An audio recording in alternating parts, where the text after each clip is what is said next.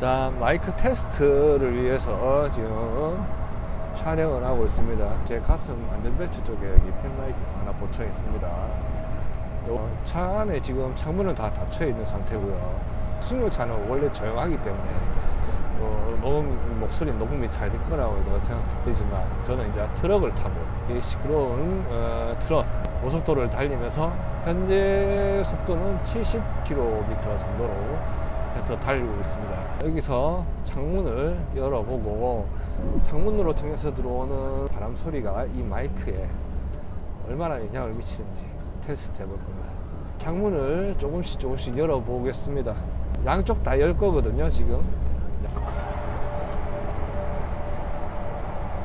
한 요 정도? 3, 한 4분의 1 정도 열었습니다. 3, 현재 마이크 상태 체크 중입니다. 다음 창문을 한 절반 정도, 이 정도 열어보겠습니다. 마이크 테스트 중입니다. 하나, 둘, 셋. 하나, 둘, 셋. 지금은 경부고속도로를 타고 있습니다. 창문을 다 열어보겠습니다. 하나, 둘, 셋. 지금은 양쪽 창문이 다 열린 상태이고, 바람이 아주 들어오고 있습니다.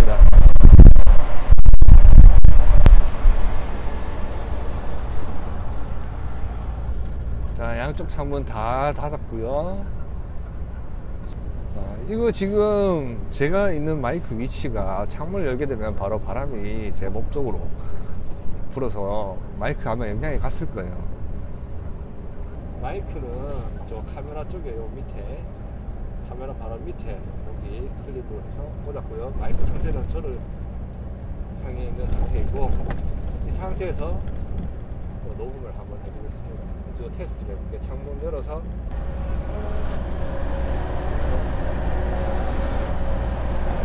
자, 하나, 둘, 셋. 지금은 경보고 지금 말하는 톤은 약간 그냥 평상시에 말하는 거로 목소리 크게 안 내고 평상시에 그냥 말하듯이 이 창문을 다 열어볼게요.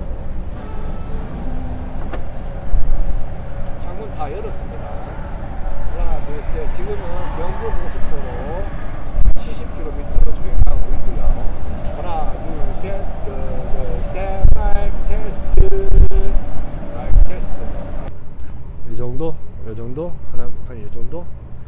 하나, 둘, 셋, 둘, 둘, 셋. 마이크 테스트. 경북 고속도로를 지금 달리고 있고 주행 중이고 현재 운전하고 있는 차는 트럭.